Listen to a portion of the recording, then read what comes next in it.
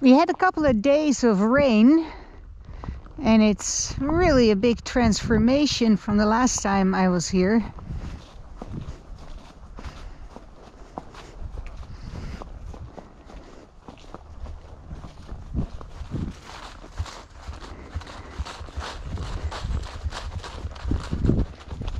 Most of the leaves are off the trees and on the ground.